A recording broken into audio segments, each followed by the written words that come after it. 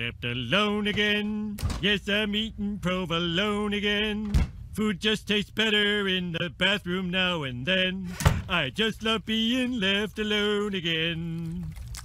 Left alone for days. I ate two dozen bags of Frito-Lays. I'm gonna brush my teeth with mayonnaise. Now my sweat tastes just like donut glaze. Happy birthday to me. I can't wait to eat